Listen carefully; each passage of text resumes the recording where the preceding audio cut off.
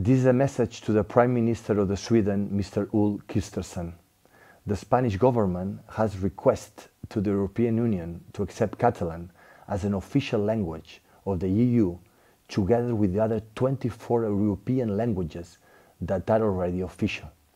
For this to become a reality, all European countries must say yes.